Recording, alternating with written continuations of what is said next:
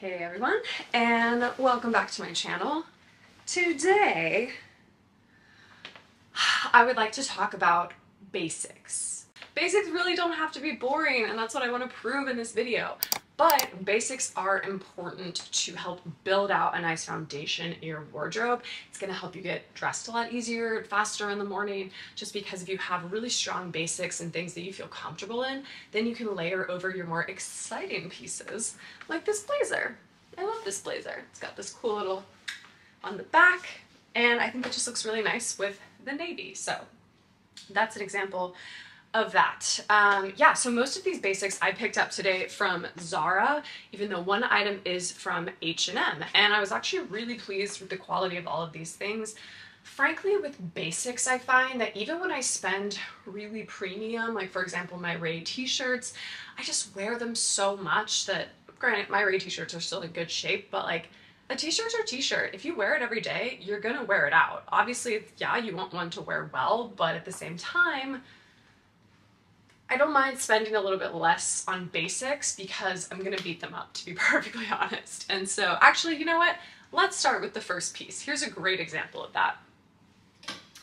This is a top that I've had for probably three or four years now from Zara, and it's one of my favorite layering pieces because of the silhouette it's got this like square neck, which I just find particularly flattering on my body. I like how it has a really high back to it.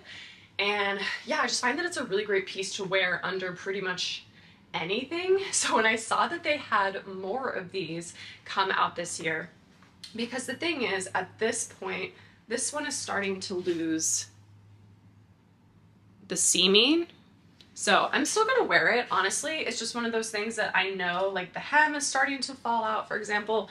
It's really starting to get super ragged. So like, yeah, I'll keep it, but at the end of the day, I probably should get a replacement. So I ended up getting one in both black and white. And I'm so happy that I did because I've been wearing them all the time. It's honestly the exact same shirt. This one is a little bit shorter, um, but other than that, it's pretty much the same. It's got that beautiful square neck that I love. It comes up really high in the back and it's like the perfect, perfect layering piece. And so very, very happy that I have this. I love that it's very streamlined to the body as well.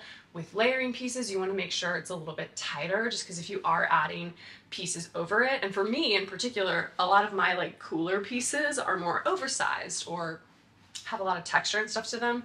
So having really sleek sort of basics to just keep add a little bit of juxtaposition to the crazy, I think is is important. So that is the first little piece that I picked up from Zara was sort of a replacement tank top. The next piece that I got from Zara is a little bit of a step up. It's actually a sweater, and I'm not gonna lie, I have an amazing sweater collection. I have a ton of cashmere sweaters, but I just, I wanted a lighter weight, a little less warm. I wanted one that could really be more of a transitional piece as well, in addition to something that could be layered. So I wanted just something lighter weight. I did enjoy the little gold buttons that we have here on the sleeve.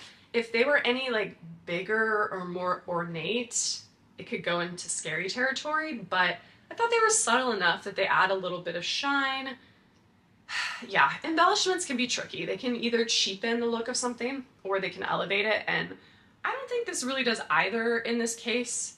It just adds a little more visual interest to it. So I do like the little buttons. And I got this in a size small. I also got the tank top in a size small. And for reference, I'm 5'7 and about 130 pounds. And this one fits great. I also love this really wide band on the bottom of it because it fits on the tummy nicely. I can tuck it in really well into jeans and skirts. And it's not too tight. There's still a little bit of room around the stomach and stuff that I don't feel uncomfortable wearing this as its own top. It's not so tight like the tank top that I'd probably want to wear something on top of it unless I'm just really warm.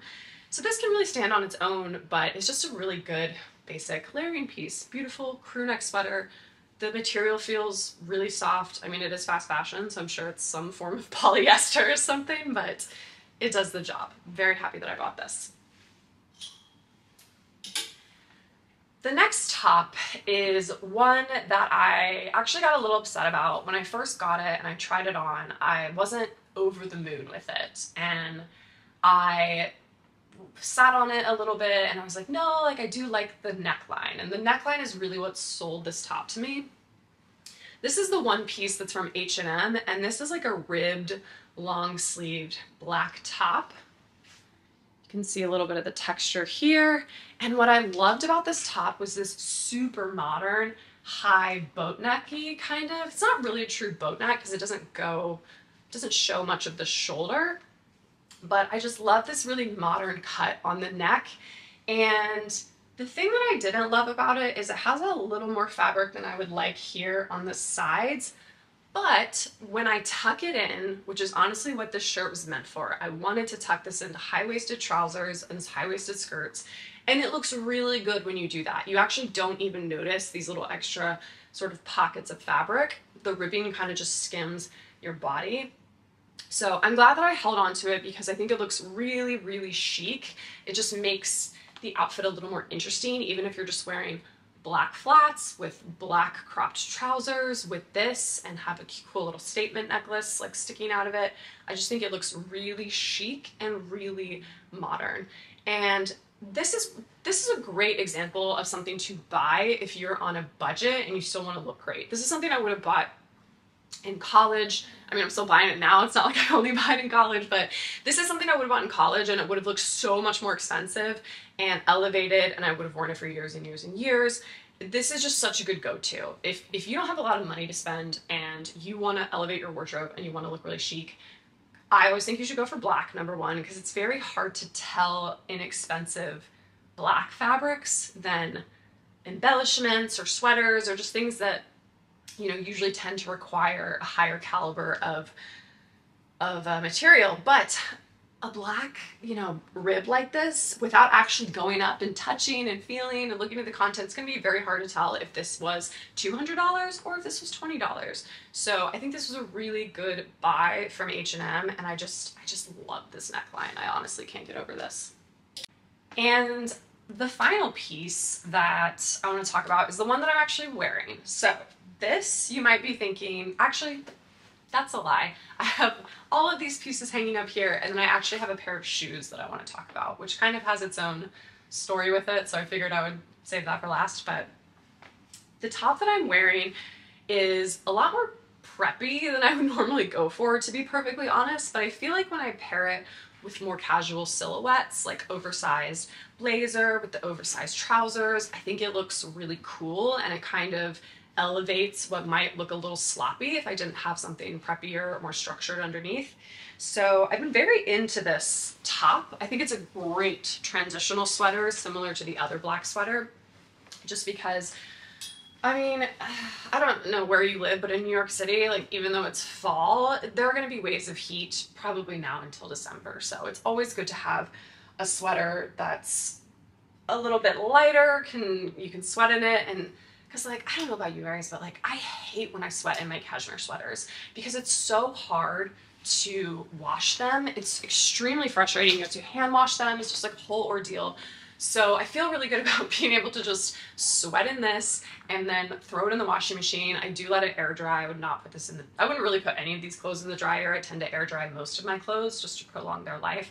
But yeah, delicate, wash this, no big deal. Don't need to hand wash, do anything crazy with it. And I like the navy and I like the cream. This is like something a little new for me. I feel like wearing navy is rebellious for me, which is not saying a lot, I know, but uh, I just thought they looked really nice with my navy trousers. I would mix them with black as well. I think that looks cool. So I was very into this. The other thing that I loved about this was, of course, the high neck. I love a crew neck. I am very self-conscious of how long my body is in this regard, so I really don't like showing off like my chest area that much, if that makes any sense. I think I look really disproportionate when I wear strapless and stuff, but that's a me problem. Um, the other thing that I really, really love about this sweater is the length of the sleeves. I feel like these are so much more flattering than like well god forbid like a cap sleeve but even like a like a sleeve that just cuts you off unless you have like really toned arms which like I, arms aren't bad but it's tough. It's just tough to wear that kind of sleeve length. And I love this almost to the elbow, sort of longer sleeve. I think it looks so much more flattering. And I actually have a similar version of this kind of in a turtleneck uh, with this like, I don't want to call it three quarter sleeve because it's not even, it's like a third of a sleeve because it's like a third of my arm. But I have this in a version of this kind of in black and cream that I purchased last year from Zara and I love. So I knew I was really going to like this piece. And so far I've already worn it multiple times. So it's fitting into my wardrobe very well. Now, the final piece of sort of classic clothing, I feel like I need to call it classic clothing, not basic clothing, because I feel like society has just given basicness a negative connotation, which is a whole other thing. But I want to talk about these shoes that I'm wearing. So, like I said, there's a story here. So uh, let me get a little closer because I feel like we need to get intimate on this. So these are the shoes. These are all leather, made in Italy shoe. just poking me. Um, made in Italy shoes and I saw these shoes originally on this influencer named Claire. I will leave a picture of her. She pretty much influences me on everything because she's amazing. I would say I love her, but I don't even know her, so I don't know. I love her style. There you go. So she had a pair of these exact shoes on. These are called the Ida shoes, and I couldn't get them out of my head. I'm like, those are the perfect non-ballet flat ballet flat. If anything, actually, they kind of look more traditional to ballet because they have this square toe, which is what I love so much about this shoe. And but they're not as feminine as the typical ballet flat that has the round, you know, y'all know the Chanel ballet flat, the rounded toe. That's really not my vibe. That like falls more into the preppy, preppy territory than I would personally like to go. What I liked about these shoes is that they look really modern, but they're nice flat. They cover my toe. It's just like the perfect twist on a ballet flat. It's a modern ballet flat. And so I really wanted to get these you can, and frankly, this is what I would recommend doing. They've been sold out at a lot of online department stores. So SSENSE is a place that I love to get things from. It's where I got my Toteme coat and some of my cold wall things. And it's on Net-a-Porter. Like I would really try to find this for you guys online, but a lot of the sizes have been sold out. And so that's what I'm, I'm trying to justify my behavior, but there's really no justification for it. So, well, okay. I ended up ordering straight from the brand. Now, this actually is a good idea if you think about it because you're ordering straight from them, they are getting your money directly, they're not having to like sell wholesale to Net-a-Porter, then Net-a-Porter is buying them out, blah blah, whole thing. So I feel like it is better to buy direct from brands. The issue is, is I never purchased anything from this brand before, so I had no idea what my size was. And I measured my foot, I tried to do the whole like size chart and do everything and I failed. I thought it was supposed to be a 42 based on my shoe measurements. I, if you guys watch my Hermes jumping boots video, you will know that sizing is crazy and it can go all over the place for me. For example, in Gucci, my loafers are 41, my Princetown mules are a 42, but yet I'm a 10 in like the Row and Jimmy Choo and like all these other brands. And so I can be anything from a 40 to a 42. So knowing that, I ordered a 42 because that's what the measurements kind of said I was supposed to be. And frankly, after the Hermes jumping boots incident, I was kind of traumatized. So traumatized. Um, anyway, so I ordered these and I got them and they were way too big. I will say, considering they come from Germany, this is a German brand. Oh, I didn't even say the brand name, uh, which I'm going to butcher, but it's called Aid, A-E-Y-D-E, Aid, Aid, Aid. And they came super quick. They came in three days, no exaggeration. DHL, very, very fast. So that was fantastic considering they're coming from another country. And I got them. They were too big. If you, they take returns, which I did check before I ordered them. You do have to pay for the shipping to return them. So I had to pay, I think it was $9.95 or something, to send the shoes back. These shoes retail for about $300. So, you know. Yeah, I lost 10 bucks, but I wanted to get the size that fit, so I ordered them again. Also, I found a coupon code. I think you can use the code WELCOME. I'll leave what I use down below, and you can try that out. So basically, TLDR, uh, all the money that I ended up having to spend on shipping it back basically was like my coupon code, so I kind of didn't lose money. I'm telling myself. Anyway, so I sent them back and I ordered the 41 because I was like, ah, like I feel like it really just needs to go down one size. The 41 came. 41 was too big, so I was like, oh my god, I have to order these shoes a third time, third time, and these shoes are expensive, and I'm waiting for refunds, and it's like a whole situation. To be fair, the brand was amazing. I sent it back. They went back just as quickly as they came. So, like, honestly, it only took about a week in order to do the return, get the refund, the whole situation.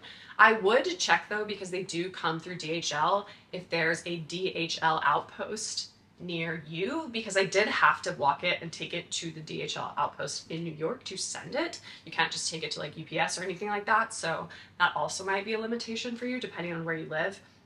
Maybe just order them through a Nordstrom or Net-a-Porter or one of those brands that carry them. But anyway, third time is the charm. So the 40 arrived and I was like, please fit, please fit, please fit. Because I just can't. I was like, if these don't work, then I'm never ordering anything from this brand ever again. And so they did. They ended up fitting. And um, I will say they're super comfortable in the soles. They have this sort of like padding, as you can see, that makes them very comfortable. But they are leather and you're going to have to break them in. So the first, I was like wearing them around the house to try to break them in because I have a trip coming up and I want to make sure that I don't walk around Paris and just cut my feet up. You're gonna have to wear them in, is all I have to say. They really hurt my feet. They hurt my feet right here, and they hurt my feet, of course, in the back because they have this sort of stiff, like you can even see it. They move inwards, so you can see that this is kind of stiff which is normally good because you don't want like a loose ballet flat that doesn't stay on your foot and is like flopping around. But the leather needs to stretch out of it and you need to wear it. So I will say it took me like three or four days to break these in. And that was with me like putting them on, putting band-aids on my feet, putting them back on, being sad.